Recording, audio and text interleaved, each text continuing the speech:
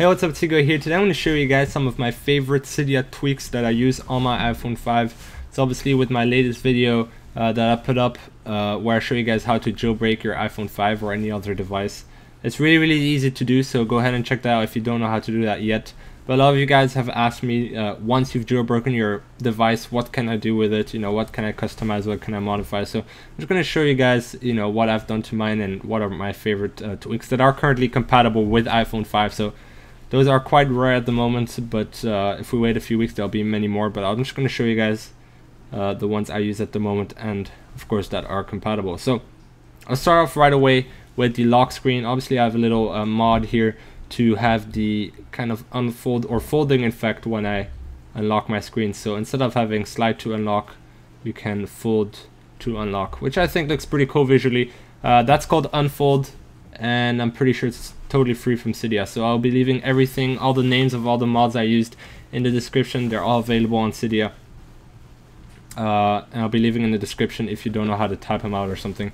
But uh, anyway, that's called Unfold. Uh, secondly, I'm also using a theme for my lock screen, uh, which is called Blink. Again, I'll be leaving a link to that in the description, as well as the instructions on that page. There's some instructions on how to install it, but that's a Winterboard theme. theme. And this one is a slightly modified version, but not going to get too much into that. Of course, you still have your camera button, but uh, that's for the themes I'm using, uh, and I'll get back to that in a second as well for the themes. Um, second thing I want to, or third thing I guess I want to talk about is the widget I have on my first page here. As you can see, got the little little weather widget, which is kind of similar to Android devices. They also have these kind of uh, widgets here. You can move it around if you want to. Uh, but anyway, that's called Dashboard X, so I can go ahead and, uh, as you can see, there it is, Dashboard X. It does have a few options to it. I'm not going to get into uh, all of the options and uh, but you can also download more uh, widgets from Cydia as well for it. By default, I think it has a few. Has like the weather widget, has the stock widget, and has email or something. Uh, not 100% sure, but there's a few widgets it comes with pre-packed. So I think pretty handy. There's a few bugs to it still, but uh, I think it's definitely working on iPhone 5 and iOS 6. So um, yeah, the second thing I want to talk about is this little effect here when I go from page to page. Uh, this was already pretty popular, by the way, on previous jailbreaks, but uh, it still exists and it is compatible with iOS 6. And it's called Barrel. It has a lot of cool. Uh, I think it's free. I'm not 100% sure about that. No, I think it's not free. I think it's like 99 cents. Although I'm sure you can get it for free from other like repos or sources, however you want to call that. But um, does have a few effects to it. Well, it has many effects, and a lot of them are. Some of them are really fancy. Some of them are right, uh, relatively simple, but as you can see, has some cool effects uh, that you can add. I personally, I'm not going to go through all these effects, but I personally really like the icon scatter. Uh, it's pretty simple, not too complicated. And uh, looks nice and smooth. So uh, that's it for that, the barrel uh, mod. Uh, next, I want to quickly have a look at uh, Infinifolders. Uh, these are the options for it. I'm just to show you guys exactly what it does. When you have a folder, obviously you have the limited amount of icons usually, while with Infinifolders you can just scroll through, which I think is pretty awesome. So that's pretty much what it allows you to do, uh, have an infinite amount of icons in a folder. So I think that's pretty cool if you have a lot of games, for example, and you don't want to have multiple folders. You can just have one and scroll through it. So uh, that's called Infinifolders. Uh, it does also have a few other things like or this uh, same person that made it also has like Infinity Dock and Infinity Board, I think, which kind of do the same for the dock and for your springboard, but uh, that's for that. So Infinifolders. Next thing is NC settings. Uh, obviously, that's for your notifications center. So if I scroll down my notification center right here, you can see that I have a few extra things um, here, and I think this is really really handy. It's kind of shortcuts to like basic settings you use a lot. Uh, so here I have my Wi-Fi, I have my uh, personal hotspot, my brightness of my screen, which I can adjust straight from here. Obviously you guys cannot see this because it's recording, so it doesn't change it, but uh, it does obviously change it on my actual phone. Uh, has the flash at the back of the phone, which does this. Might be a little bright, sorry about that, but um, pretty much enables the flash.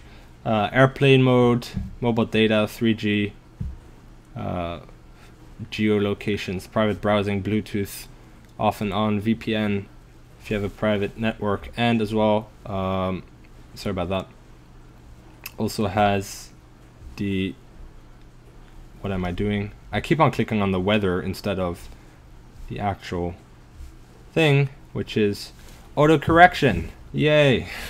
so that's for that. Uh, so a lot of cool shortcuts in my opinion. Uh, definitely quite handy. So that's for NC settings. I think it's free. Uh, yeah, it's 100% free and does have a few extra things. You can add, I think, extra uh, options to it or remove them if you don't use them that much. Uh, so that's pretty cool.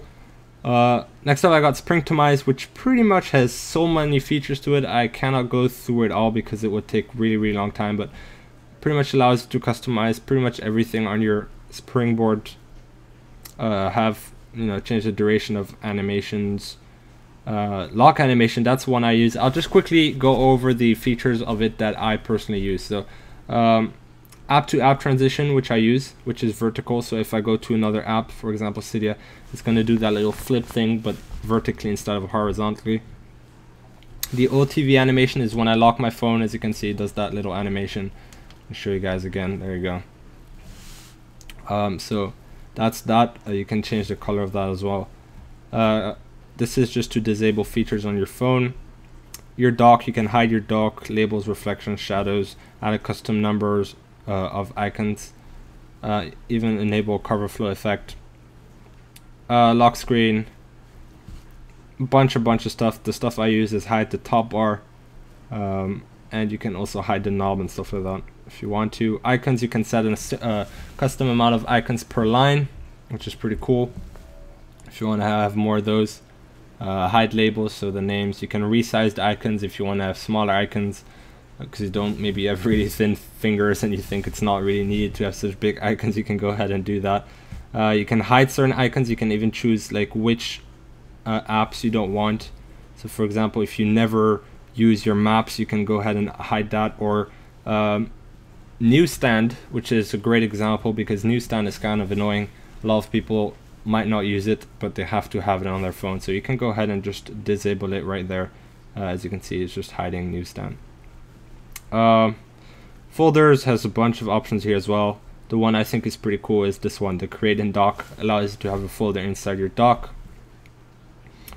App switcher has a bunch of stuff. The one I think are handy here, start with iPod, which means every time you go into your uh, app switcher, instead of starting right here with your apps that you're using, it's going to start here. So this is what you're going to see when you open your app switcher. Uh, and a bunch of other stuff. Time machine, I don't know why you'd ever want that, but it's obviously to back up your stuff.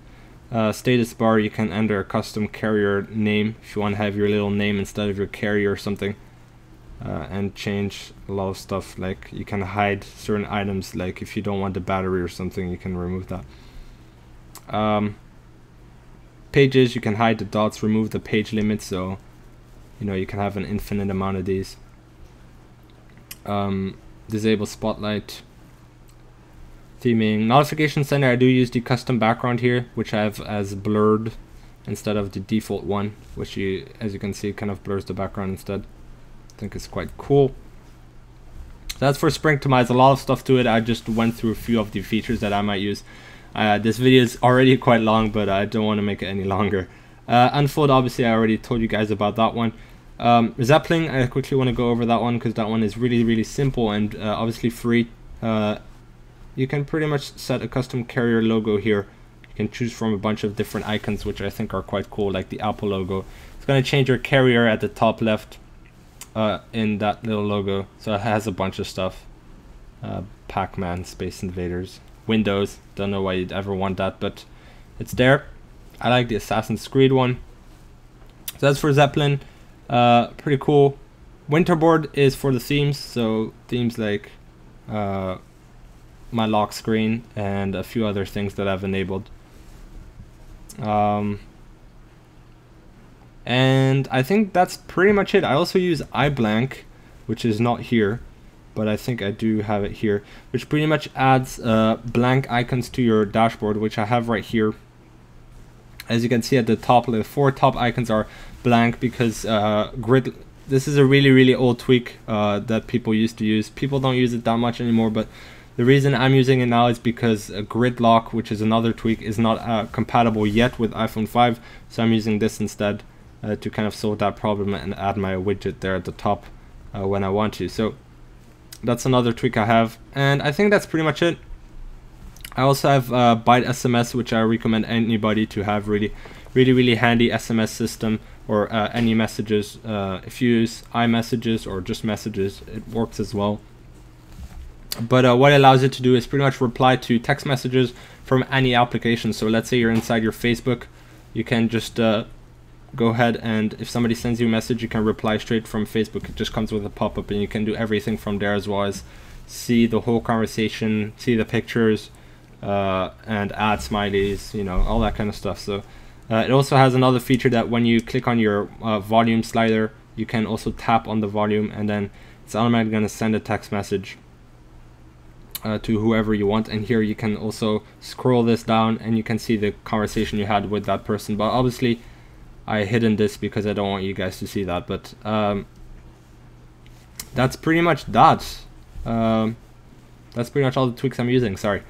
And uh, hopefully that gave you guys some idea of what to get. Obviously you can also get a bunch of themes that pretty much change everything like your icons and everything that you see visually. Um, but you know I like to keep it rather simple and rather good looking and I do in uh, I do plan on uh, still changing a lot of things on my iPhone uh, as soon as more tweaks come out. Uh, I do want to change a few things and uh, maybe customize a few things. So especially the dock and stuff, I want it to look a bit better. But I'll do that once more tweaks come out. So if you guys want another video of this in a few weeks time where more stuff will be uh, out, go ahead and comment down below. And hopefully this helped you guys. If you have any questions for anything, you can go ahead and comment down below or send me a personal message and I'll try to reply it uh, as well as like the video if you did enjoy it and found it useful. I'm sorry if, if the video was a little long, but uh, I just uh, you know wanted to show you guys everything pretty much. Um, one last thing, if you guys are really interested, is the sources I have on my Cydia. So these are all the sources I'm using. Pretty much all the